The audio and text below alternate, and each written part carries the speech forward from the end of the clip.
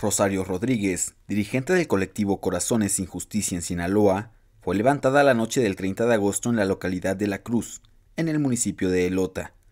Al día siguiente fue hallada muerta. Mi hijo es, está desaparecido, se llama Fernando Abisaí Ramírez Rodríguez, desapareció el 16 de octubre del 2019 en la Cruz de Elota por la avenida mm, Sur 16 y 5 de febrero.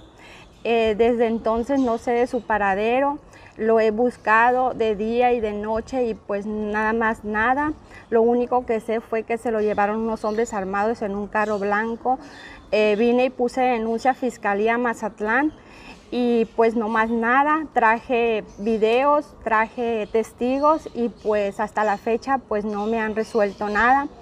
Quien se llevó a mi hijo está detenido en San Luis Río, Colorado, sí, San Luis Río Colorado.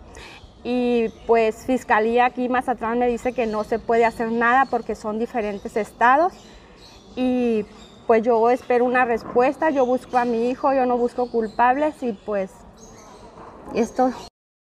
Un comando armado habría arribado a su domicilio en la colonia Palos Blancos, después de asistir a una ceremonia por el Día Internacional de las Víctimas de Desapariciones Forzadas.